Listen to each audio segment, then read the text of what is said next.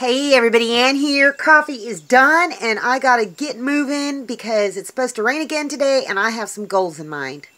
I'm gonna try making another garden bed in this corner of the yard for maybe some squash. So I've just dug up some of that. It's been rained on since then, but that's okay.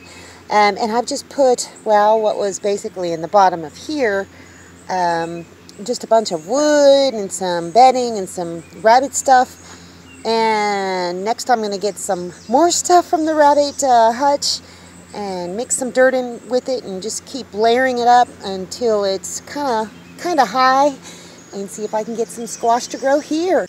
Look at all that wonderful fertilizer. And I'm just trying this out right now. I haven't even put replacement bedding in there, but this fits. This fits. I need to block off this side with some more chicken wire of some kind uh, because there's a little space. But look at this. It fits perfect. It fits perfectly. Um, you know what? I may do something else. Just cover up that one side and the top. And this hardware cloth, if I keep it down on the bottom, it'll lift the bunny up, Mr. Bunny, Papa Bunny, and the rabbit droppings will be able to go through to the bottom, so I won't even need to have bedding over in this spot. And once they start breeding, I can separate Papa Bunny into this, and I think it's going to give him enough room. I just need to put food and water in there. So yeah, I don't know. I think that's an option. Don't jump out. I just kind of put it in there and I've left it with the top open um, and it's open on that side so they can get in and out. And I haven't put any bedding down here. I just want to see what happens and what what they look like. I don't know if that's going to be big enough. Sorry I'm not holding this very well. I'm not sure if that's going to be big enough to keep one male bunny and see look at that. I don't know if that's enough room. I really just don't know yeah, the top would need to be covered. I may be able to do it, turn it around, so the open part is this, and then just block off part of this nesting box for it. No, I'm thinking they're not mating yet. So, I don't know. Gonna have to think about it. Got one layer down, got a layer of clay over it, and I think I'm just gonna toss this around because this stuff is so dense. Oh yeah. But things are growing in it, so I'm thinking that this might work, you know? Oh, there's a big piece of wood.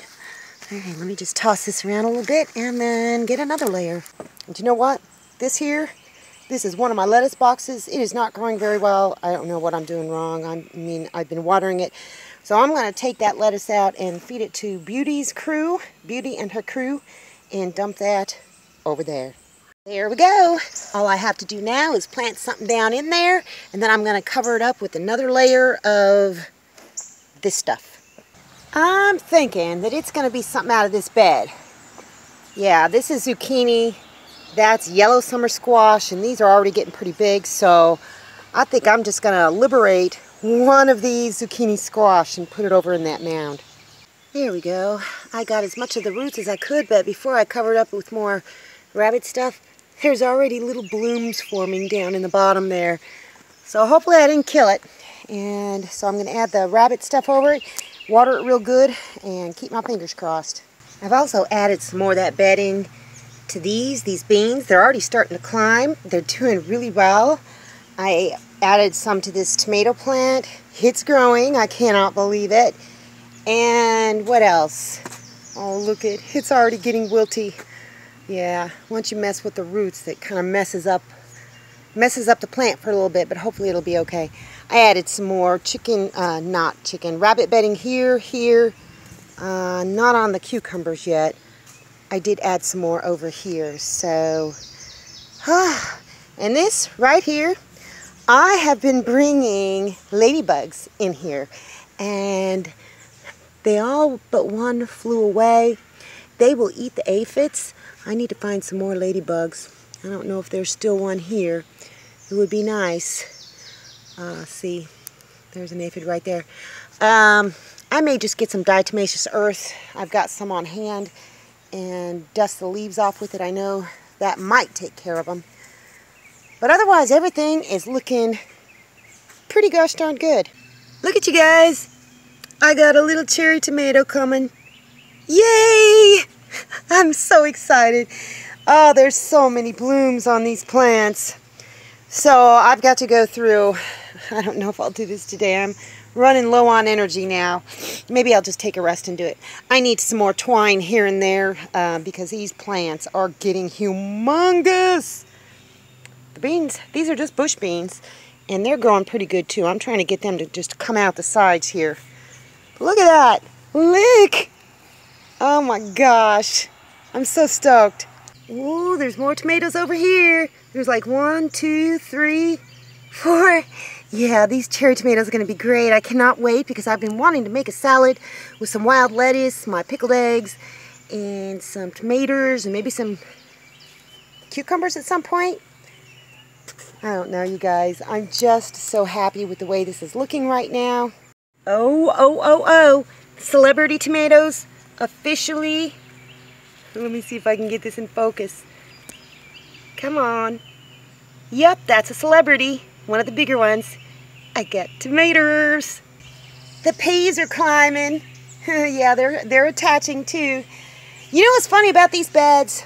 Between this bed and this bed, and this bed, the corn is doing the best in this little tiny bed. Isn't that crazy? So I'm going to give the beans another week and then I'm going to plant some squash. I may even end up just transplanting some of the squash that's already growing. I don't know. Um, I really only need one squash plant in this bed and maybe two squash in this bed maybe. I, I, I might be able to do one here, one there, and one there. Not sure yet. And then maybe just two in this bed. One right here and one right here. So, but the beans, they are coming up. The corn is growing taller. So this, so far, is doing pretty good. Oh, and down here, ants keep getting up in there. So I keep uh, disturbing their nest and putting diatomaceous earth down. It works for a few days, but then they come back and they just start building their mound again. It's very annoying. Oh my gosh, what did I do? Look at all those tomato leaves. Well, I thinned out suckers and there were a ton of them. The bottom leaves, a ton of them. They were practically on the ground and it opens it all up. There's going to be air that's going to be able to get in. These beans will do better. All the tomato plants will do better. Um, I think I'm going to get more fruits instead of just growing tomato plants. I'm trying to grow tomatoes. Um, I did leave a few suckers, yeah. I did leave a few, but I had to really drastically cut back all of them, and then I just secured them to their individual stakes. That right there, um, it's already loosened up. I'm probably going to take that twine off and use it for something else. I don't know. I might just leave it there. But everything else is looking really good. Plenty of air circulation, and hopefully I've got them high enough so that, um, you know, when it rains and the water splashes up, there isn't any fungus, and hopefully I won't get blight this year. To this garden bed as well. Um, and again, with this, I've just tied them to the stakes. And I tied, I tied little bows so I could undo it and adjust it if I needed to. So, uh, yeah, and there's even little blooms on these here too. So I think that this will work better. Last year I didn't trim my uh, tomato plants back at all until they started developing blight and then it just goes up the entire plant. So hopefully I've done enough. we will see. I, I might do need to do some more here and there. But I think that these this will make the plants healthier. I know that um, it seems drastic and it looks like I cut off half of my tomato crop, but I didn't. Um, there's still plenty of foliage left there and there are a ton of tomatoes coming on. And this will just go in the compost heap. I'm in the process of getting ready for baby chicks. There's uh, 14 days left, so I've closed off this nesting box and took the little perch out with the two uh, basket thingies.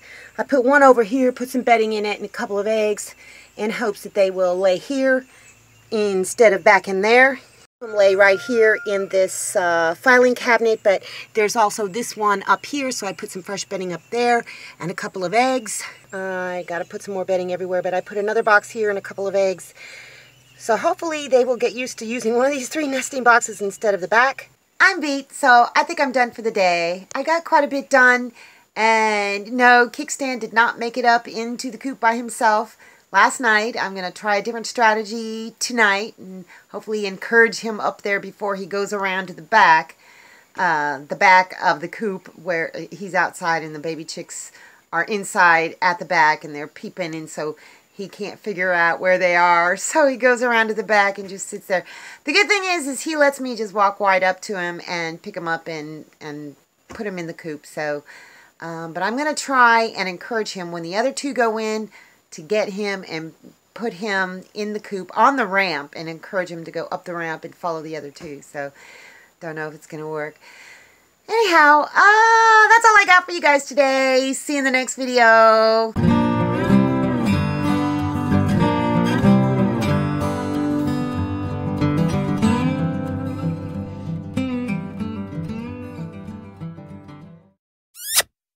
For watching, everybody. I hope you enjoyed the video. Make sure you like, subscribe, hit the bell, and y'all have a good one.